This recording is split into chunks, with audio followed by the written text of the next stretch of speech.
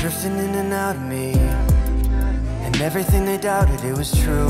Wonder why the skies blue, me too. Why do I feel see through? I need you. All the right things in me have left. All the right things in me have left. Think I need direction where I step. Think I need direction where I step. Hi, I need help.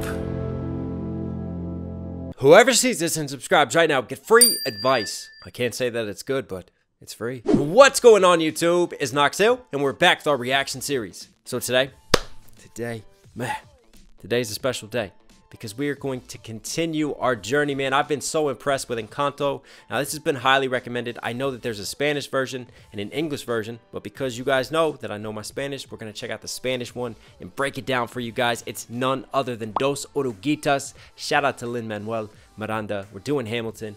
We're enjoying Encanto. I can't wait for this one. But before I go any further, I want to give a quick shout out to the song in the intro. Listen, if you guys like that, I have a brand new album, Blacklist. A lot of blood, sweat, and tears and soul put into that one, guys. I'm very proud of the music video that we just dropped for it. If you guys want to support me and support the channel directly, I'll put the links to that below. But anyways, anyways, we know we're here for. Encanto, step back up to the plate. Let's see what you got. All right, tres, dos, uno.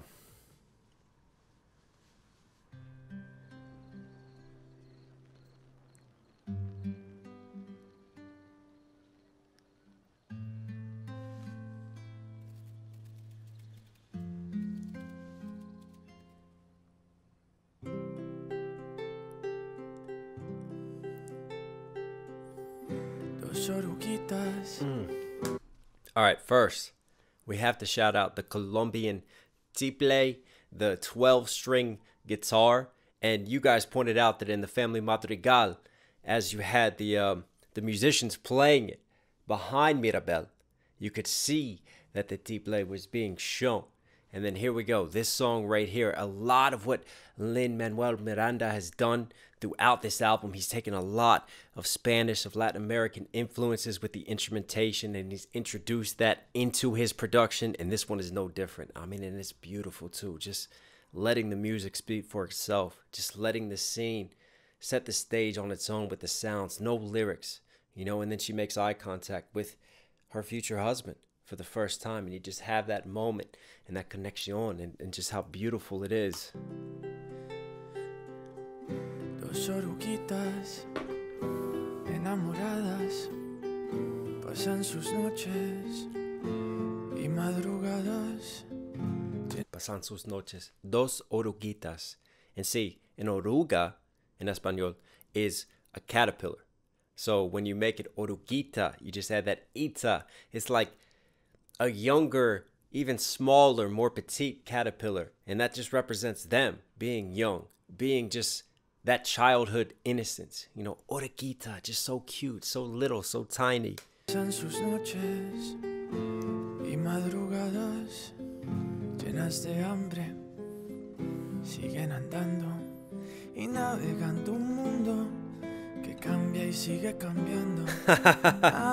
oh, I forgot about that moment in the movie when she reveals that she's pregnant and that they're going to have their first child. And then she pulls it apart and reveals that she's actually having triplets.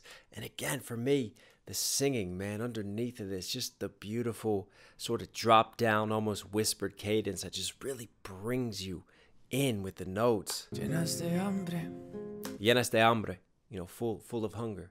And, and the story follows two caterpillars, you know, as they journey through their life, but it also represents the lives of Mirabel's abuela and her abuelo and kind of they're coming together and as they mature through the years, we go along for the ride with them. Siguen andando y navegando un mundo que cambia y sigue cambiando. Navegando un mundo que cambia y sigue cambiando. And see que cambie y sigue cambiando. That changes and keeps changing. And think about the story of the caterpillar and what happens to a caterpillar. You know, it metamorphosizes, it changes ultimately into a butterfly and completely changes, just as our lives change and just as different events shape and mold who we are and who we become, you know, as we grow up and mature and the years carry on.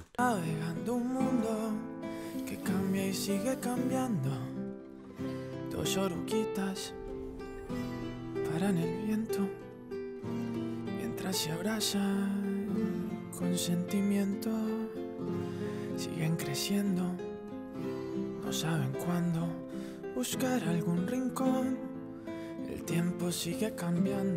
Buscar algún rincón. And before he said dos oruguitas in stopping the wind. You know, and that to me is important. El viento, the wind.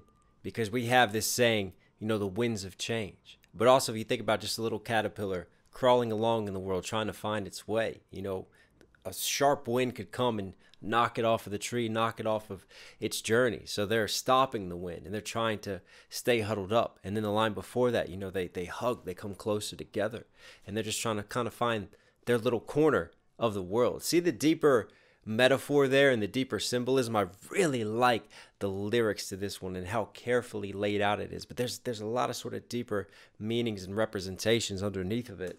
Buscar algún rincón. El tiempo sigue cambiando.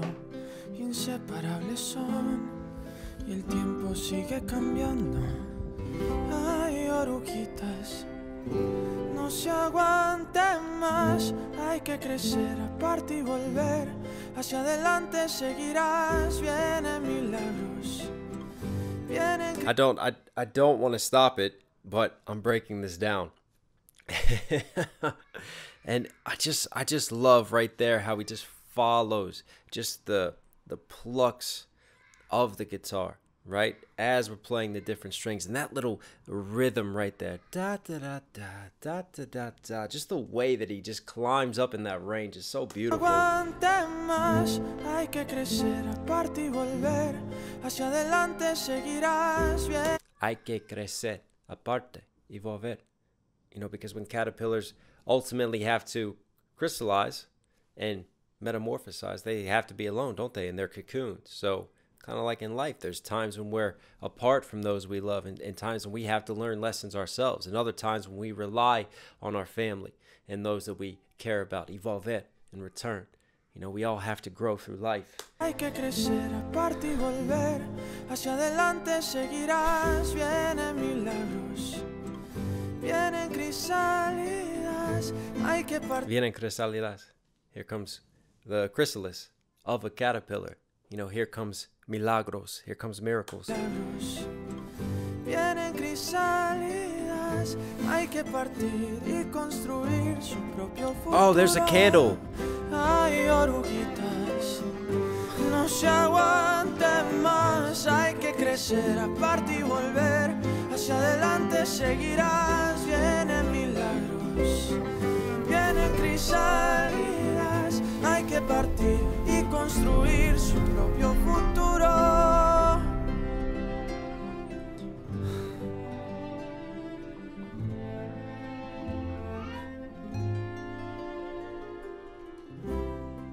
I mean that that's hard.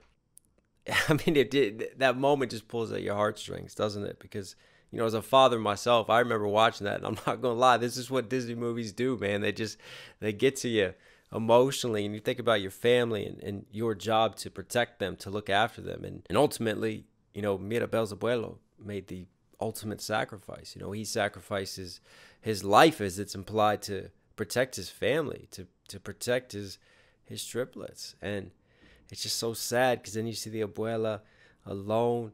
You see her trying to cope with that moment, and I just everything that comes together right there in that moment just speaks volumes about just the power of music and what it can do to us emotionally. I mean, just listen to the strings right here that get introduced. You know, we've been guided mainly by this Colombian guitar, and then all of a sudden you just have just some orchestral strings also introduced, just to add to the emotion, to sort of the melancholy and the impact of this moment. futuro.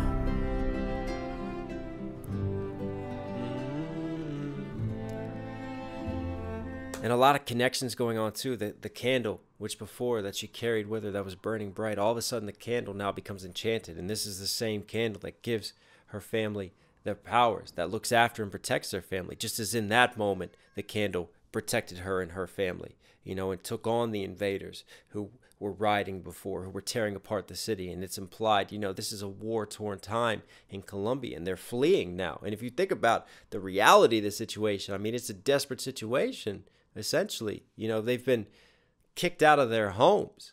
You know, they're desolate, journeying now, trying to find their place.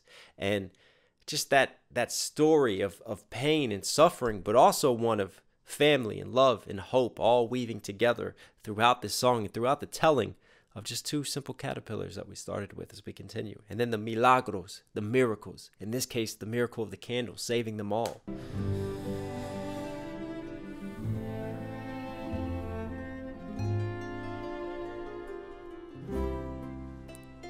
What was that? Was that a harp too? Hang on. One, two, three, one, two, three, one. Two. That was a triplet. That was a going down on the scale. A triplet chord played by the harp while she's looking at triplets. Oh, that is clever and that's deep. I asked my Pedro for help. Mirabel. He sent me you. Oh. And then it changes here.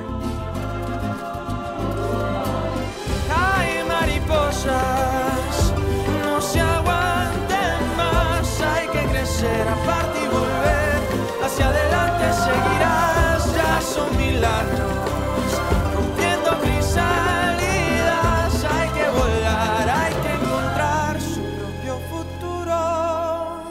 Wow. And there's that harp again to end it.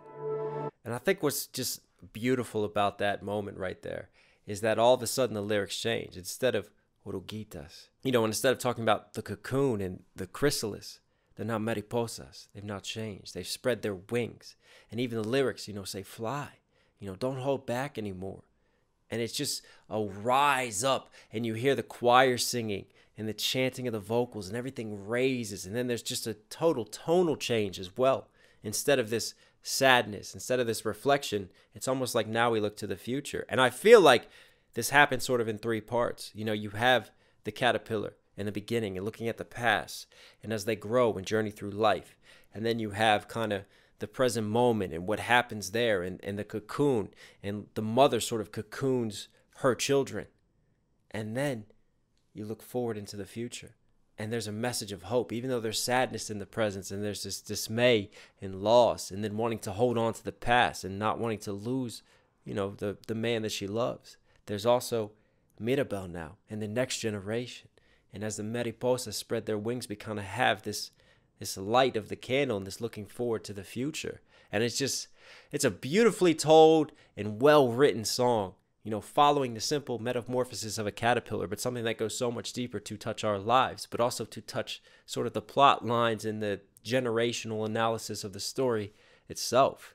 Man, I hope you guys enjoyed that. And emotional too. I mean, yeah, I, I definitely, I'm not afraid to say it. I was tearing up when I was watching it with my daughters in that moment happening. First heard that song. When I heard that song, I said, man, this is this is beautiful. We got to break this one down. So hope you guys enjoyed it. Encanto, you were Knox certified. So hope you guys liked today's video. As always, be sure to smash that like button. Listen, if you're here at the end of this video, obviously you're enjoying the content, do me a favor, subscribe, notifications on. Stay safe, stay positive, guys. It's Knox Hill. I'll catch you again. I'm out.